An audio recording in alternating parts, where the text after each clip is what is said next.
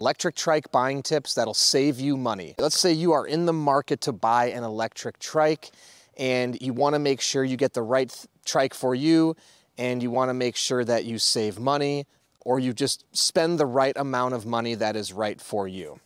So let's get into a few tips that I think will help save you money in the long run so you ultimately get the right electric tricycle for you.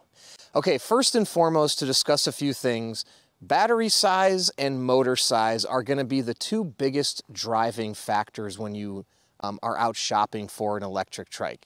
The bigger the motor, typically, and the bigger the battery, typically, the e-trike will be more expensive. So it's important as you go out and search for an electric trike that you think about the range or the distance that you will or will not be typically riding.